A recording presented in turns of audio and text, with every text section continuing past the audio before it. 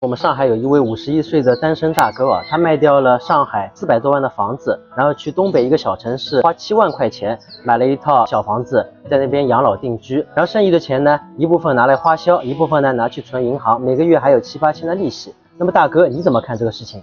说实话啊，我是不大赞同的这种生活方式。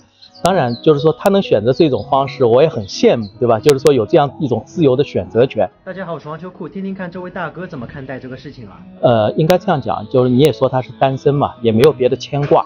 呃，但是从我们大部分上海人的角度，上有老，下有小，对吧？你不管怎么样，上海的房子我哪怕卖掉了，就是说会选择一个小一点的房子，因为我够我住就行了，对吧？但是不会选择跑那么远，对吧？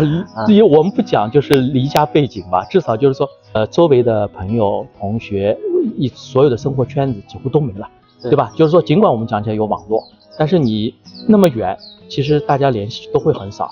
另外呢，上海就是说能够选择上海，其实大家很重要一两个原因嘛，一个就是医疗。一个是教育，可能教育对他来说影响不大，但是你医疗还是占很大比重的。那在那个青山绿水之间嘛，可能说空气比较好，各方面比较那个，但是医疗肯定是再怎么样跟上海没法比。所以呢，就是说如果作为他自己个人，我只能说比较敬佩他的勇气。但是从我自己的角度，我肯定不会做这个选择。嗯，大概他这个单身啊，能让他做出这个决定，因为无牵无挂了，是吧？对，这个很肯定是很重要因素，就是说。他可能觉得这一点钱我变现之后，就是说有生之年我用掉它，那就是说阿拉不说上海人讲起来叫吃光用光嘛，嗯嗯对吧？但是呢，因为作为我们普通大众来说，不管是老的有还是小的有，总归是会有一些牵挂。其实我觉得这一点也是很重要。就呃，将来很多这种情况也是会蛮多的。其实人有一点牵挂，我觉得还是蛮好的。就真的没牵挂很难受的。那你觉得他这点钱啊，四百多万嘛，花了七万在东北买了房子，剩余的钱开销？然后呢，每个月还有七还有七八千利息，你觉得他之后的生活是不是就衣食无忧了？在东北那块的话，呃，够肯定够的。就是说他这个钱，其实我，因为我以前也做过金融，其实了解的就是一点，一般的吃吃用用穿穿，这点钱足够够了。而且他基本上也会有养老嘛，养老金肯定以后也会有。但是有一点啊，就是说只要你别去碰那种。不三不四的理财或者啥，就本金只要本金没事体，嗯，其实都都是没事。就是说，但是你也知道，人在常在河边走，只要千万别给碰到就行。